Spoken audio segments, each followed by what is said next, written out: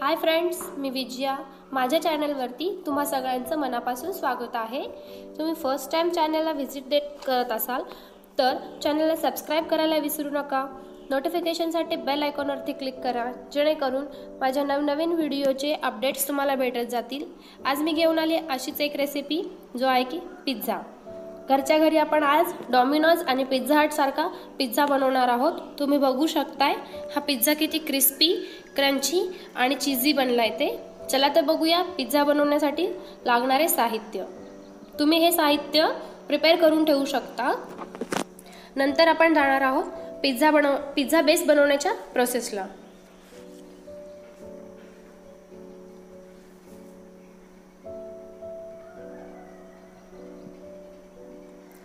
Pizza बेससाठी मी घेते एक cup मैदा दोन मोठे चमचे दही अर्धा टेबलस्पून बेकिंग सोडा अर्धा टेबलस्पून बेकिंग पावडर ऑप्शनल आहे. चवीनुसार मीठ थोडंसं तूप घेतलं आहे तुम्ही बटर यू यूज करू शकता. चला तर स्टफिंगसाठी घेतलं आहे मी अर्धा टोमॅटो अर्धी पिवळी शिमला मिर्च अर्धी हिरवी शिमला मिर्च अर्धा कांदा एक लसूण पाकळी चिली फ्लेक्स हे घरच्या घरी बनवलेलं आहे. हिरवी मिरची ऑप्शनल आहे. याचे काप तुम्ही तुम्हाला आवडेल याच्या आकाराचे करून घेऊ शकता. टोमॅटो सॉस लाल तिखट. इथे मी चाट मसाला यूज केला आहे तुम्ही मिरपूड वापरू शकता. चीज वापरलं आहे मी इथे. चला तर जाऊया डो बनवायच्या प्रोसेसला हा मैदा मी एका बाउलमध्ये घेते आहे त्याच्यामध्ये आता आपण ॲड करणार आहोत मीठ चवीनुसार. अर्धा चमचा बेकिंग सोडा दही. डोंट वरी दह्याने वेगळा पण येणार नाही आहे थोडीशी टेस्ट चांगली येईल. थोडंसं तूप घालतीये. थोडीशी साखर जाईल. सांगायचं विसरून गेले मी. इन्ग्रेडियंट्समध्ये आता हे सुके इन्ग्रेडियंट्स आपण मैद्यासोबत नीट मिक्स करून घेणार आहोत. जेणेकरून ते पूर्ण एकजीव होतील. नीट मळून घ्यायचे. मैद्याचा एक डो बनवण्यासाठी थोडंसं पाणी लागेल. थोडं थोडं पाणी करत मैद्यामध्ये पाणी टाकायचे आणि त्याचा एक डो बनवायचा. आहे खूप हार्ड असा डो नाही बनवायचा आहे आपल्याला. थोडासा लूज सैल बनू शकता. तशा प्रकारचा डो बनवून घ्यायचा आहे आणखी थोडं मी पाणी ॲड करते मस्त असा मळून घेते मी ते. तुम्ही बघू शकताय. ऑलमोस्ट डो बनवून तयार झाला आहे हा डो आता आपण रेस्टसाठी ठेवणार आहोत. पंधरा मिनटं याला रेस्टसाठी ठेवूयात. इथे एक मी तडका पॅन घेतला आहे गॅस चालू करते हा लसूण आणि तुपाचा तडका देणार आहोत किंवा बटरचा तडका देणार आहोत. आणि तो आपण पिझ्झा बेसला वरून लावण्यासाठी यूज करणार आहोत. ज्याच्याने काय होईल की पिझ्झा बेसची टेस्ट खूप छान होईल. एकदम लसूणवाला फ्लेवर त्याच्यामध्ये येईल. आता मी ॲड करते तूप. थोडंसं गरम होऊ द्यायचं आहे एक जी लसूण पाकळी घेतली होती ती मी थोडेसे ठेचून याच्यामध्ये टाकणार आहे. टाकली आहे मी. थोडासा गरम होऊ द्यायचं आहे ज्याचा फ्लेवर तेलामध्ये किंवा तुपामध्ये किंवा बटरमध्ये उतरायला हवं. हे बनवून तयार आहे. आता मी काढून घेते. पॅन पुन्हा गॅसवरती ठेवला आहे यातच मी हे जे आपले स्टफिंगचं सामान आहे ते टाकणार आहे. पिवळी शिमला मिर्च हिरवी शिमला मिर्च टोमॅटो कांदा. हिरवी मिरच. हे सगळं स्टफिंग आपण थोडंसं गरम करून घेणार आहोत. जास्त कुक ओव्हर कुक नाही करायचे. आता प्री हिटिंगसाठी मी एक कढाई ठेवणार आहे. गॅस चालू केला आहे एक कढाई ठेवली मी ज्याच्यामध्ये आपण पिझ्झा बेक करणार आहोत. त्याच्यामध्ये मी आता ॲड करते मीठ हे मीठ काळं पडलेलं आहे कारण हे मी ऑलरेडी दोन तीन वेळा यूज केलेलं आहे.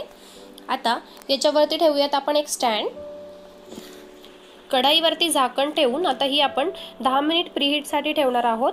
जाऊयात पिझ्झा बेस बनवण्याच्या प्रोसेसला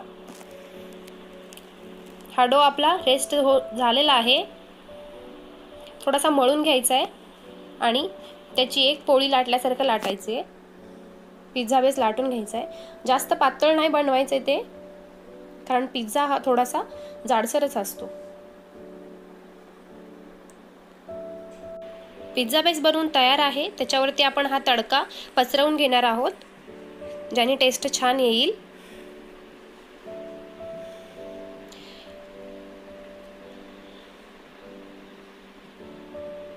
हा बेस आता आपण एका डिशमध्ये काढून घेणार आहोत जी डिश आपण बेकिंगसाठी ठेवणार आहोत. त्याच्यावरती आधी थोडंसं तूप लावून घेणार आहोत जेणेकरून आपला हा बेस चिटकणार नाही खाली. तुम्ही बघू शकताय. आता याच्यावरती मी टोमॅटो सॉस स्प्रेड करणार आहे.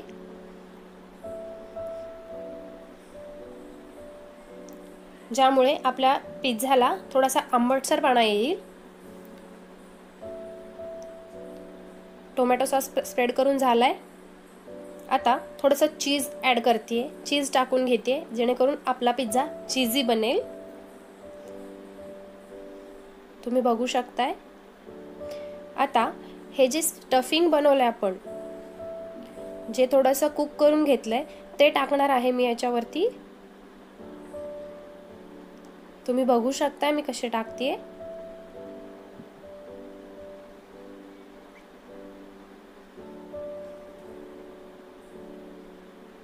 तुम्ही इथे लाल शिमला मिरचीही वापरू शकता. घरी अवेलेबल असलेल्या साहित्यापासून मी हा पिझ्झा बनवलेला आहे. तुम्ही बघू शकता किती छान असा कलरफुल दिसतोय पिझ्झा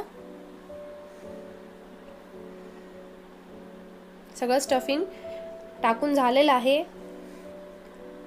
त्याच्यावरती आता आणखी थोडंसं चीज स्प्रेड करणार आहे मी.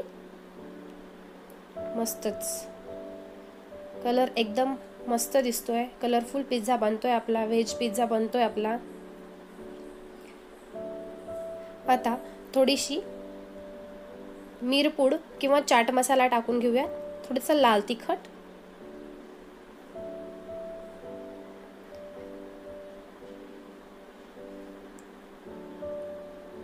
थोडंसं मीठ टाकते एकदम किंचित. बेसला टाकलेलं आहे ऑलरेडी आपण. त्यानंतर टाकूयात चिली फ्लेक्स. घरी बनवलेला आहे लाल मिरचपासून. बेकिंगसाठी जाणार आहोत.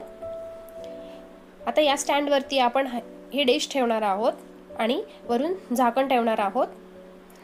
हा पिझ्झा आपल्याला पंधरा ते वीस मिनटासाठी बेक करून घ्यायचा आहे बेक करून झालेला आहे. तुम्ही बघू शकता एकदम चीजी असा पिझ्झा बनवून तयार आहे. नाईफच्या साह्याने आपण बघूयात की तो बेक झाला आहे की नाही. तो परफेक्ट बेक झाला आहे गॅस बंद करते मी. मीडियम फ्लेमवरती ठेवायचा होता. आता हा पिझ्झा आपण काढून घेऊयात सर्वसाठी घेऊयात.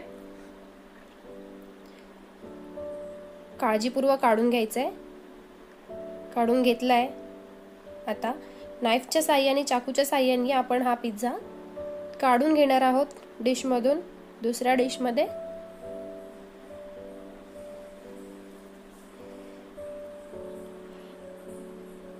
घरच्या घरी घरच्या साहित्य वापरून आपण हा पिझ्झा बनवतोय. आता हा बेक झालेला पिझ्झा आपण दुसऱ्या एका डिशमध्ये काढून घेणार आहोत. आणि हा पिझ्झा आता मी कट करते तुम्ही बघू शकता. सगळ्या भाज्या थोड्याशा कुक झालेल्या आहेत.